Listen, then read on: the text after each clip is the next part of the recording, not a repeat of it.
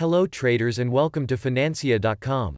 Today, we will discuss everything you need to know about bullish and bearish engulfing patterns in MetaTrader, also known as engulfing candlesticks in TradingView platforms.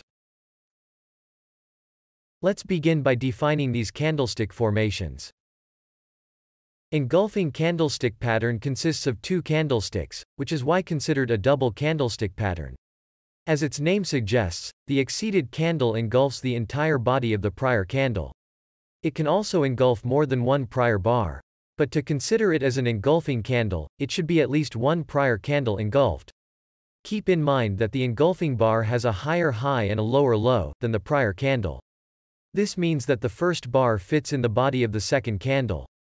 Moreover, this pattern indicates the change in the market sentiments which can be a sign of a reversal in the present trend direction. For this reason, Forex traders use it to detect possible reversals in the trend momentum. There are two types of engulfing candlestick patterns. The first one is the bullish engulfing pattern and the other is the bearish engulfing pattern. Let us discover some examples of both bullish and bearish engulfing candlesticks considering this Euro, USD Forex chart. The bullish engulfing pattern is a bullish reversal pattern, that occurs usually at the bottom of a downtrend, and provides the strongest signal.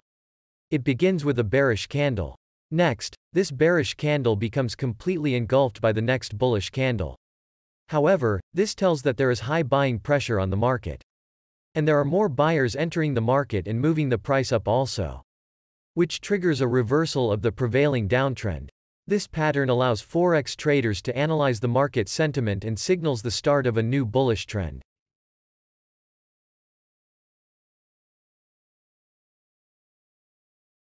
However, a bearish engulfing pattern is the opposite of a bullish engulfing candlestick. It represents a bearish reversal structure.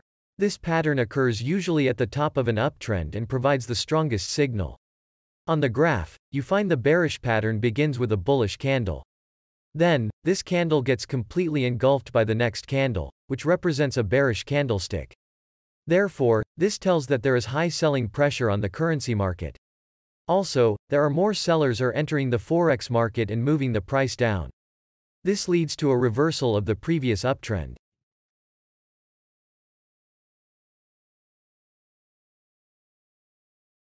Thanks for watching this engulfing pattern video tutorial.